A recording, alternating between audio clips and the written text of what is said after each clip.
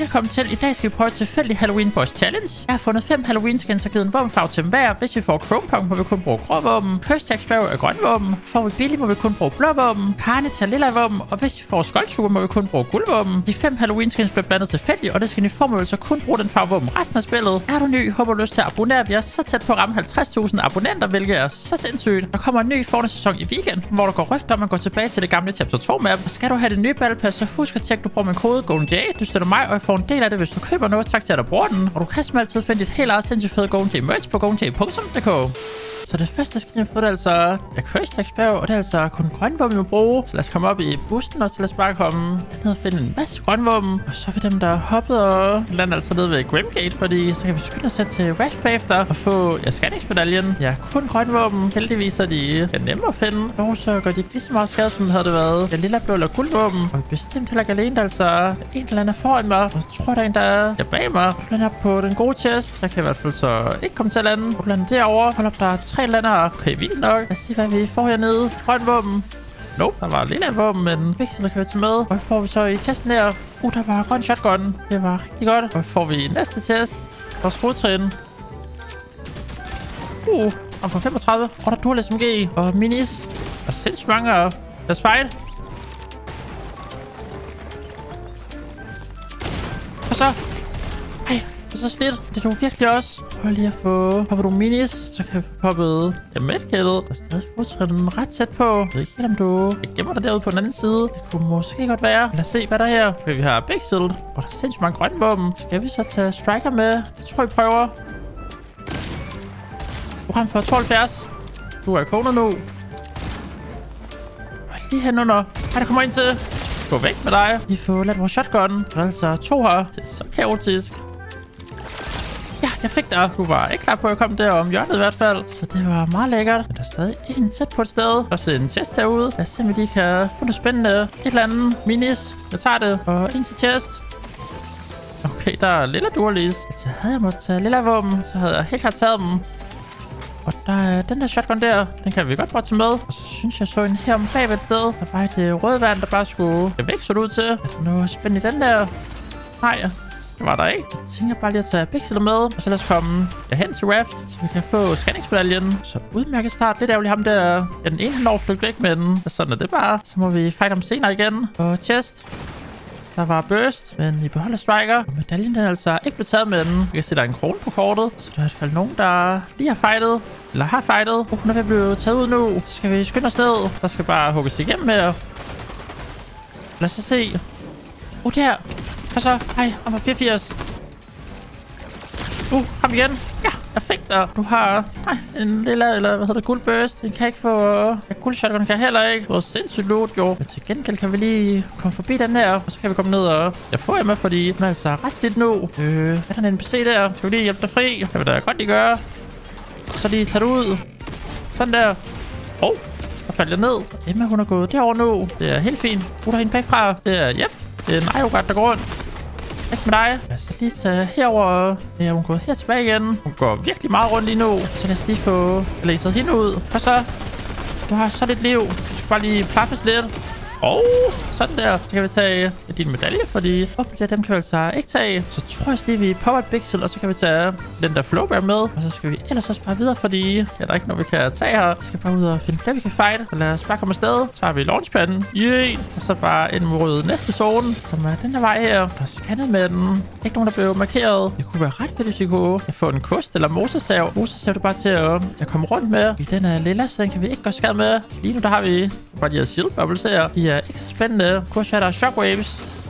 Uh, det var der faktisk. Så kan vi bruge dem til at komme rundt med. Og jeg synes også, jeg ser skud videre lige fremme. Lad os prøve at tage derhen. Se om vi stod ind i nogen. Det er i hvert fald blevet bygget. Så det er et godt tegn, når jeg så skud der. Så vi skal bare fortsætte.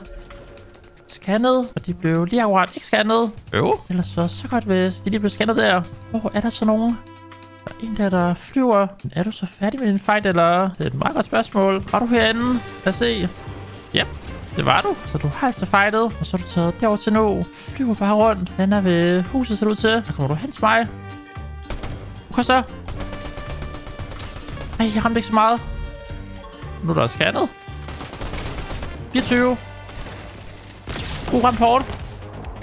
Det var endnu et kill. Dejligt nemt. Så tager vi din ting. Det vil nu kan tage. Vi kan ikke tage den der. Vi kan heller ikke tage din striker, fordi den er blå. Men til gengæld har du en kost med. Den tror jeg faktisk, vi tager i. I stedet for minis. Så vil vi nemlig bruge kosten til at, at flyve rundt med. Vi kunne måske stige. Stoppe den der krone der.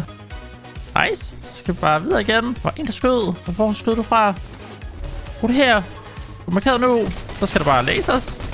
Det var endnu en kill. Så har vi altså fire kills nu. Du havde grøn med den. Vi beholder vores striker. Det kunne være meget sjovt lige at komme hen til en bunker eller sådan noget, sådan, så vi kunne emotte den. Så lad os hoppe ind i bilen her, så bare køre hen til bunkeren, der er helt derovre. Fordi lige kunne sætte et sigte på og så drum mag og laser og reduce recoil. Så er vi altså rimelig godt kørende. Men det kan være, der sidder nogen ned i bunkeren. Du skal lige vente med at gå derned til medaljen har scannet. Oh, der var en på scannet her. Der er en der nede under. Der skal vi allerførst ned. Så vi vender lige rundt, og du løber der rundt helt herinde. Så går vi ud her. Det er jo så fint det her. Så er det bare ind. Er du her? Ja, der er du jo. Nice. Så har vi fem kills, og der er ikke andet spændende, vi kan tage med. Der flere shockwaves, og så skal vi bare hen til bunkeren nu. Der er skudt over, så det kan godt være, der er nogen dernede. Det må der næsten være. Ja, der er to faktisk. Okay, vi nok i to dernede. Vi fighter nu. Og så går vi derind. Det er de herinde. Yay! Hej. Det var et nemt kill. Vi hitter bare i boksen. Altså, derfor Shockwaves, de er sindssygt gode. Så ligger der nok kun 8 andre tilbage nu. Så kan vi jo lige gå herover til. Og så må vi vores våben. Så på med sigtkorn. På med drumback, som vi snakker om. Så skal vi have laseren på. Og til sidst så er det bævel, som kan reduce recoil. Sådan så våbenet ikke sådan, kan man sige, kører lige så meget op, når man skyder. Så er det nemmere at styre. Og så er det bare op igen. Se om vi kan finde de sidste personer, hvor de gemmer sig henne. Og flyv. Hvis vi åbner kortet... Uh, der er en medalje derude, med den Den har jeg ikke tænkt mig at tage med den. Der er en, der har en medalje tæt på Loot Island. Så lad os prøve at tage det over til. Så kommer der højst sandsynligt en fight op på Loot Island. Hvis personen altså når op til, så lige vente 5 sekunder mere, så vi kan bruge vores akust igen. Det kan vi endnu. Så er det bare afsted. Lad os se, om vi kan finde, hvor du løber rundt henne. Okay, jeg tror, du er op på Loot Island, fordi jeg så de sådan en et kode en glider. Så ind i riften, så tager vi derop. Ja, du lige der. Planer vi her. 27. De ramte hinanden lidt.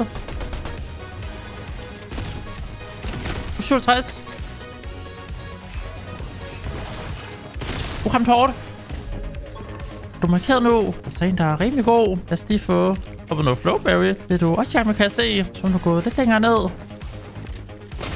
Du ramte for 49, med den. du er også ramt hårdt. Du markerer igen.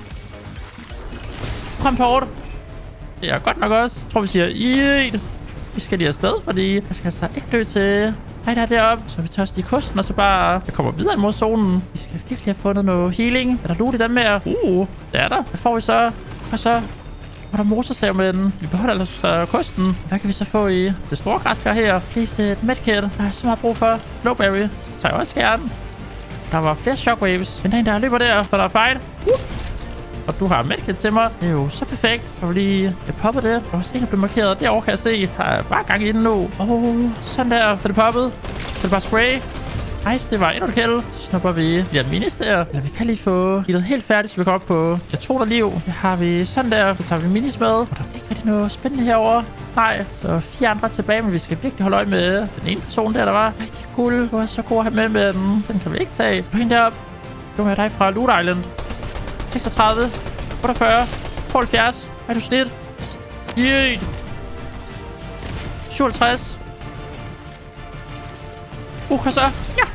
Jeg bokser dig ind her ved siden af. Ej, hvor var det fedt lavet. Sætter rampen herinde. Så går du den her vej ud. Det er jo så er det forkerte valg. Du valgte den anden side. Tit så tager folk den højre vej ud, end de skal ud af deres box. Det var jeg altså klar på. Men du har en striker, der er. Den kan vi ikke tage. Du har en, en Mavic shotgun. Jo, så lad os bare komme videre igen. Se om vi kan finde, hvor de sidste gemmer sig henne. Øh, skud den her vej bagved. Lad os prøve at komme hen og tjekke det ud. Se, hvad det er, der foregår. Så flyv. Det er der skud. Der er jo to løber der. Vi ligner to NPC'er. Så tager vi den ene. Super. Og den anden. Perfekt, så er der kun en tilbage nu. Og forløber, du så rundt henne? Det er et meget godt spørgsmål. Så vi lige få brugt nogle af vores mats. Vi får bygget lidt. Så tager vi kosten. Så tager vi bare afsted. Jeg har bygget herover, men hvad den sidste gemmer sig her over ved ja, bunkeren måske. Der scannede, og der var ikke nogen, der blev ramt af den. Så vi tager bare ja, videre hen til bunkeren nu. Så testen er ikke taget ned, ser det ud til med den. Så kan vi lige sådan her. Så lige bygge rundt om. Jeg går ikke videre dernede, før der er helt scannet. Så nu venter jeg bare lige på ja, medaljen for scannet. Nu der har scannet nu. Nogen, der blev markeret. Så kan vi roligt gå ned. Og så lige snuppe guld, fordi det mangler vi en lille smule af. Alt andet, det kan vi ikke tag. Altså ingenting her. Så det er bare op igen. Jeg kan vide, hvor du løber rundt henne. Fordi du gemmer dig rimelig godt. Jeg har i hvert fald ikke kunne spotte dig endnu. Og der bliver skudt nu. Og fra bakken af. Okay, det var med missiler det hele. Skyder stadig lidt. Og så til at snige op nu. Her er du. Program for 100. Okay, det var rimelig nemt. Jeg skal bare lige læse en del. Så fandt vi altså i det første forsøg kun med grønvåben. Hvis du kunne lide videoen, så skal du give den et kæmpe stort like. Og det er bare sige tusind tak, hvis du så med. Vi ses i næste video.